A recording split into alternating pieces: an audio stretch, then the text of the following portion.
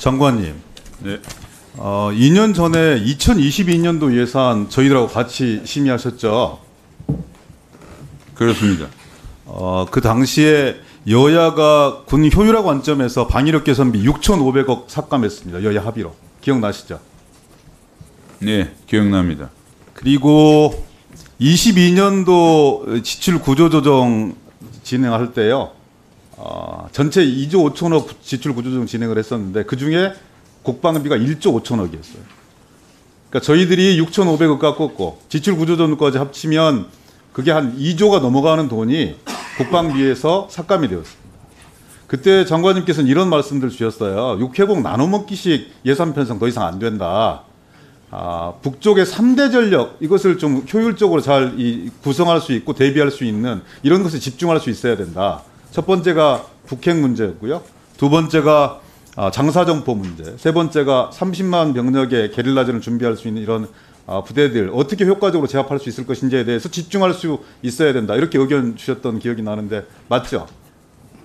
네, 그렇습니다. 그러면 내년도 예산이 장관님께서 그때 의원 시절에 쭉 집중해 주셨던 이런 군 효율화 관점, 집중과 선택의 관점 속에서 이 의견들이 잘 반영된 그런 예산이라고 평가하십니까?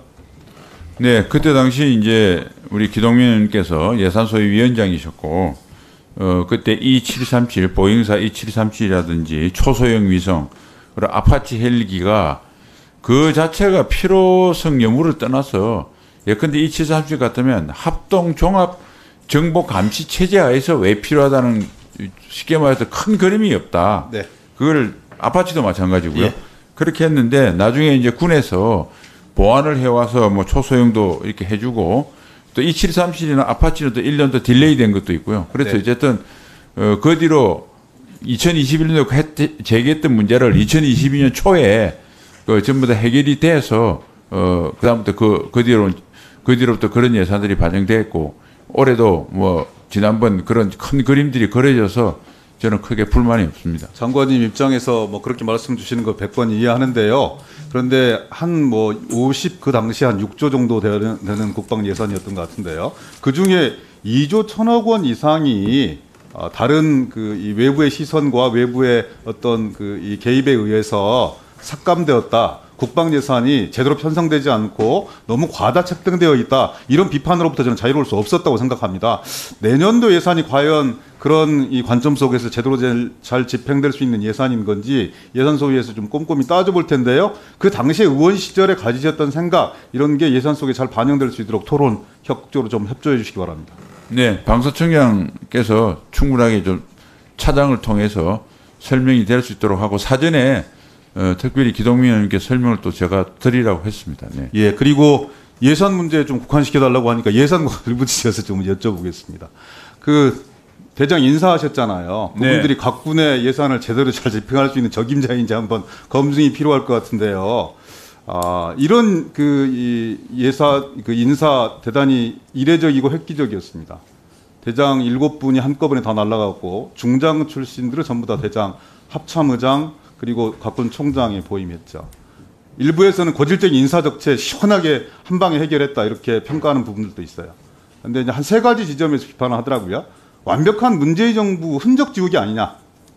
두 번째는 아, 왜 호남은 없는 거냐? 호남은 배려하지 않는 거냐? 호남에 사람이 없는 거냐?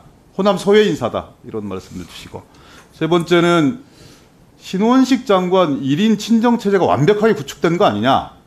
이 말씀은 아, 그분들을 무시해서가 아니라 그동안의 대장 출신들을 합참의장에 보임한 이유는 아, 현장의 경험과 실전 경험 그리고 또 여러 가지 종합적인 측면에서 바, 바라봤을 때 그 정도 지휘 통솔력들을 확보할 수 있으려면 그래도 대장으로 각 그 이 군 총장을 역임해서 아, 통- 지휘 통솔력들을 확보를 해야 그래야 국방부 장관을 제대로 좀 보좌할 수 있는 거 아니냐 이런 지적이었던 것 같아요.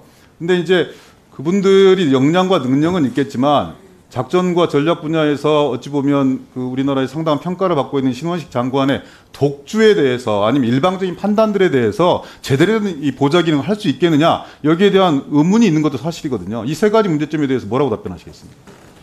제 먼저 문재인 정부 지우기는 조금 잘못된 그, 건 같고요. 왜냐하면 어차피 시간이 지나면 전 정부에서 임명한 분들은 전역을 하게 돼 있습니다. 그래서 어차피 지금 안 하고 내년에 했어도 그런 이야기 나왔을 거고 어, 지금 빨리 인사가 진행되고 있기 때문에 전 정권에서 어, 중장 이상은 1.5 내지 2년 돼 있으면 어, 사성 장군이 되고 안 된 사람들은 옷을 벗는다는 거 이해를 좀 해주시고요. 두 번째 하다 보니까 저도 요즘은 거의 지역은 블라인드로 하고 제 자신이 사실은 지역에 가지고 하는 거를 제가 양식껏 이야기했는데 정말 그 자체를 저는 군 생활하면서도 안 했고요. 지역 배려를 안 했습니다 전혀. 그런데 어, 하다 보니까 신문에 보도되고 그 다음에 추가적으로 확인하니까 영남 일곱 명 중에 영남이 그러니까 경남부를 합쳐서 영남이 네 명, 그 다음에 서울 경기 이제 호남은 없고 나머지 이제 서울 경기 이런 쪽에 세 명 이렇게 돼 있던데 어 뭐그 그 능력에 비해서 했다고 말씀드리고 예 그래서 뭐 같은 갑이고 조금 그러면 제가 좀 배려될 수 있도록 나름대로 그거는 조금 정무적인 판단도 해야 되겠다 말씀을 드리고요. 1인 체제 원하시는데 사실 그거는 뭐 조금 너무 과도하게 된 것 같고요. 제가 양심껏 이야기하는데 지난 저 어, 이 받고 가장 큰 제가 일이 사성장군 소위 수뇌부 인사였습니다. 그래서 한 명 한명 꼼꼼히 보고 그리고 이제 에, 제가 중장으로 전역할 때 제일 서열 1위인 합참의장이 대령이었습니다. 그러니까 나머지 저는 개인적인 친분은 전혀 갖지 못한 대부분의 사람이었고 그래서 정말 세평을 듣고 이렇게 해서 심사숙고했다는 말씀드리고 어, 합참의장 그 해군 중장 발탁에 대해서 이제 여러 가지 파격적이라는데 파격은 파격입니다. 근데 저는 어, 여러 가지 저 혼자만 하는 게 아니고 전체 시너지 효과를 내야 되기 때문에 어, 이번에 합참의장은 해군한테 보좌를 받는 것이 좋겠다. 저하고 소위 말 시너지가 맞겠다고 생각을 했고 합참의장이 수상함이 되니까 지금 잠수함이 굉장히 발달하고 있는데 특히 어, 방산 같은 거 고려하면 지상무기 많이 팔리고 공군도 TA, FA50하고 KF21이 많이 들어오는데 해군은 없습니다. 근데 사실은 잠수함에 대해서 굉장히 많은 관심을 갖고 있거든요. 그러니까 잠수함 장교가 한 번 나올 때가 됐다. 뭐 이런 여러 가지를 저 나름대로 고려를 해서 했다는 말씀을 드리고 어, 그 사람들이 어, 각기 존경을 받고 좋은 성과를 내, 내, 내지 못하면 저 책임인데 제가 낼 수 있도록 열심히 보좌하고 하여튼 최대한 그 능력과 자질을 보고 했다는 말씀을 꼭 좀 믿어주셨으면 좋겠습니다. 그 장관님, 네. 어, 통상 사성 장군 임기가 물론 총장 의장은 법으로 2년으로 되어 있죠. 그렇습니다. 뭐 군사령관은 뭐 임기라는 게 정해져 있지는 않지만 법으로. 그럼 앞으로 2년 후에 일곱 분을 동시에 딱 교, 교체하십니까?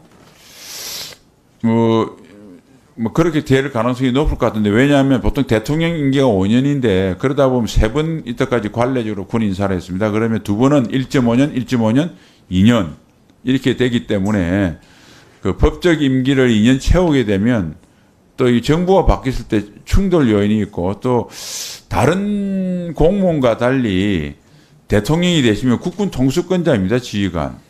그래서 이제 여태껏 관례대로 그렇게 왔다는 말씀을 드리고 어뭐 제가 얼마나 장관을 할지 모르겠지만 일단 뭐 이번에 한 분들을 1.5년을 할지 2년을 할지는 또 그때 돼봐야 판단 요소가 있고 뭐 그런 사항이라는 걸 말씀드립니다. 어, 언론에서 제가 국방위원장이니까 저한테 여러 가지 질의를 하고 하는데 저는 뭐 장관님도 아시지만 일체 알려고도 하지 않고 관여하지도 않고 말씀도 드린 게 없습니다. 그러나 이분들이 걱정하는 게 그러면 2년 후에 다시 한다고 그럴 때 그때도 100% 중장에서 똑같이 올라가야 된다. 누가 앞이고 뒤도 없다. 어, 과거에 그 군에 인사하던 것과 너무나 차이가 나지 않느냐. 그래서 제가 그건 뭐 노코멘트 한다고 얘기를 했는데 에, 벌써 그런 우려가 있다는 걸 좀 참고해 주시기 바랍니다.